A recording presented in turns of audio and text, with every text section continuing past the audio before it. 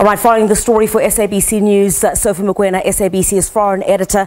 Very good evening to you, Sophie. Thanks for your time indeed. So, confirmation here at least that the Prime Minister has had a sit down with police pertaining to this investigation. Yes, we are told that this happened at his office today, uh, uh, where he was able to perhaps uh, communicate with the police, but uh, it's not clear yet whether he had to answer the questions around the allegations on the assassination of uh, the former First Lady, or they were just discussing procedures, how to handle this matter. But also what transpired today, the Attorney General, Haae Phoofolo, wrote a letter to the commissioner of police, almost intimidating the police, asking questions why they want to question the prime minister, saying that uh, when the commissioner uh, was in court a few weeks ago, the commissioner made it clear that uh, the prime minister is a suspect and therefore perhaps there's conflict of interest. He can't now come and account to the police. But uh, I think the commissioner was very strategic by not handling this case, leaving it to the deputy commissioner of police. And it's scary yeah. because you know that uh, previously Lesotho, in terms of instability, it's a country that has experienced lots of instability. And at that time, or during those days, you'll see police taking sides and the military taking sides. But since the discussion around the reforms, uh, the security cluster made a commitment uh, to the, the, former Deputy Chief Justice of South Africa, uh, Dikgang Moseneke, mm -hmm. that uh, they will respect the rule of law and the constitution. They will not interfere in politics and civil matters, and therefore they are at the barracks. Mm. This does create a conundrum for uh, Prime Minister Tom Thabane.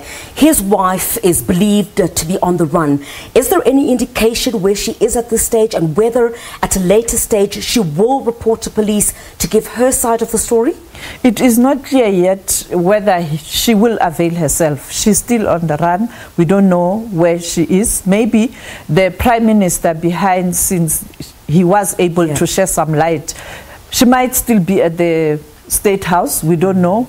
Or she is in South Africa. Some are saying it might be Ladybrand, mm. Ficksburg. Some are saying Midrand because they do have a house here in Johannesburg. Mm.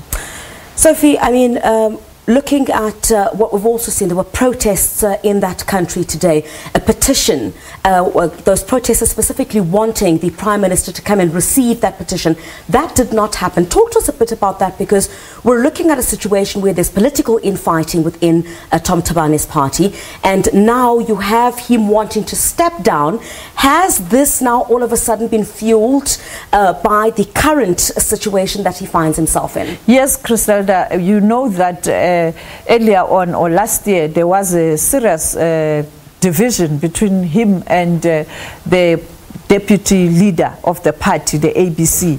And therefore, you know that when you have uh, some standoff, people do take sides and also use the opportunity to express their views. Therefore, you have uh, a march uh, disguised as ordinary Basotho, but uh, politicians are involved because the opposition parties, they want him out. Some section of uh, his own party want him out. He has made a commitment that he is ready to retire, but they must uh, start the process in parliament because the problem yeah. here, there's no provision in terms of what needs to happen when a prime minister uh, take a decision to, to retire. Yes or else the whole cabinet must step down and fresh elections. And they are trying to come up with a new act mm -hmm. that will uh, make that possible for him to retire, but still have a cabinet where you are just going to replace the prime minister and the new deputy prime minister yeah. perhaps. But the problem is the current deputy prime minister is a member of an opposition, not mm. ABC. Therefore, mm. within ABC, they feel that uh, the person who's going to take over should be a person from the ABC, and yeah. therefore, it's a very difficult one very difficult situation, but I'm sure you'll keep tabs on that for us. Sophie Mokoena, SABC foreign editor on Prime Minister of Lesotho, Tom Thabane, questioned by the police in that country pertaining to the investigation, of course, into the assassination of his former wife, Lipolelo Thabane, in 2017.